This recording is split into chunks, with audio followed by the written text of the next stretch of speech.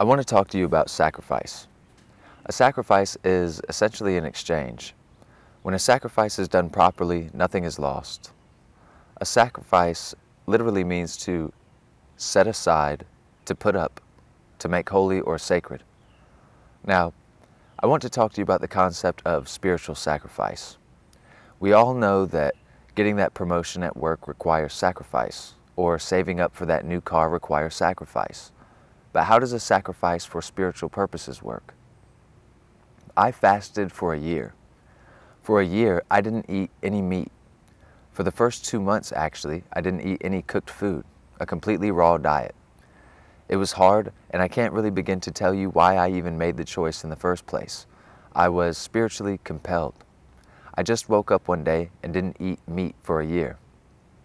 I had super intense cravings for meat for a while that I had to fight off daily at first. I had never done anything like this before, and I did no research, which was a mistake because by the end of the year I had lost a good bit of weight and wasn't feeling too great. I didn't know how to shop in a cost-effective manner, but it ended up being worth every penny in the end. During this entire process of fasting from meat, I became more spiritually inclined, more intuitive. I was also more empathetic. My dreams were more lucid, and I woke up feeling more refreshed. I had more physical and mental energy for the first 9 to 10 months.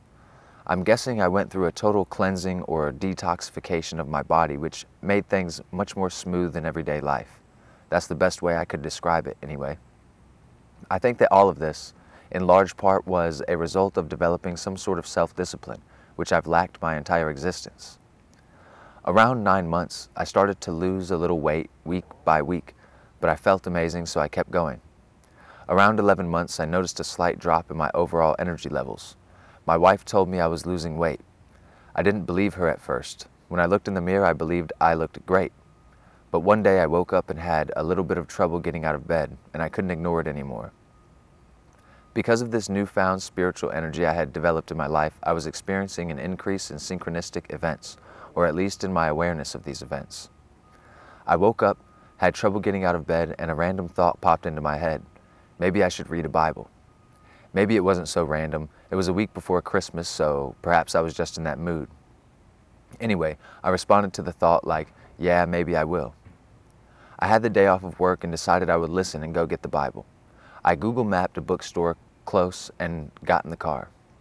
When I arrived, no one was in the store, not even behind the cash register. I browsed the entirety of the small bookstore until I made my way to the shelves labeled Bibles. There were only a few to choose from. They were all cheap. The most expensive was a $10 King James Version with Jesus' words highlighted in red. And this is the one that attracted me the most, and I decided it was the one for me. As soon as I decided, a man suddenly was behind the counter and greeting me as if I just walked into the store. I thought it was strange, but I shrugged it off. He was very outgoing and friendly, asking me what I liked to read, and he said he had things that he would like to show me. I politely declined, seeing as how I wasn't feeling too good these days. When I got to the counter, by smell, the man was obviously drunk, but it didn't bother me at all. What the heck, why not? At least he's not out driving around. He sees the Bible and says, Oh man, is that what you came for? Yes, I replied. It's a shame we're even allowed to sell those. What do you mean? I asked the man. Never mind, he said. Why don't you just take that one off my hands? Consider it paid for. Not a problem, I responded, smiling. It felt like all of this was prearranged to happen for me. I thanked him genuinely and left. A week later, before bed, I decided to open the Bible to a random page and read a verse. It was Christmas Eve. I flipped it open and it landed somewhere in the New Testament with the highlighted red words of Jesus, and my eyes were pulled to a certain verse. Jesus says, It is not what enters the mouth of a man that defiles him, it is what comes out of his heart. And I was shocked.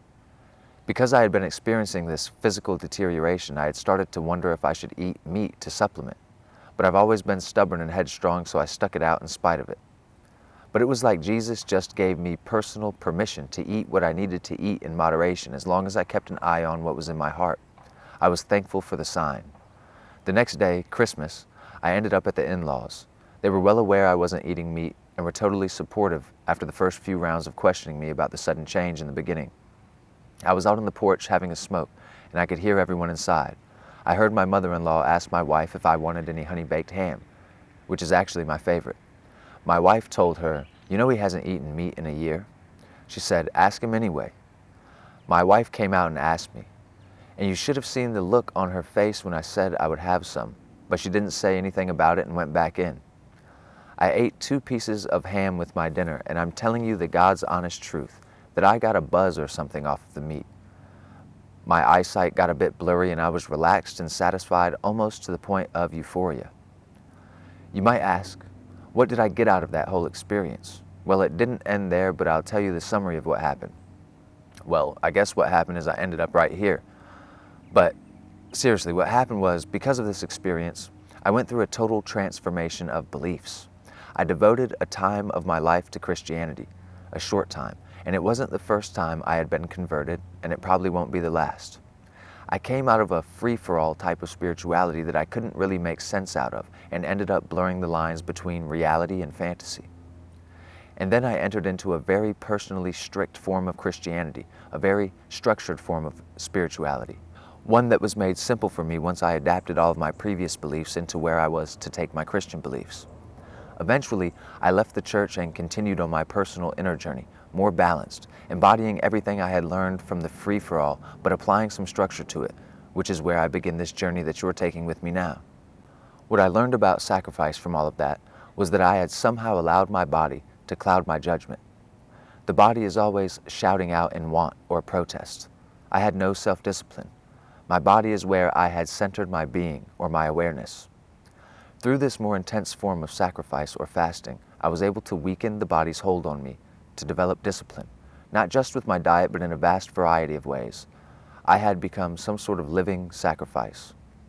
What came along with this sensation of the body weakening was an affected sense of motivation or will, lessened it, dulled the body, which allowed for the spirit to be more easily connected to and communicated with.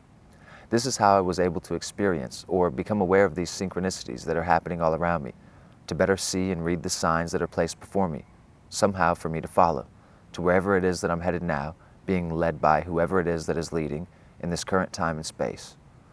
Life to me is truly magical. Until next time, I hope you continue to free your mind.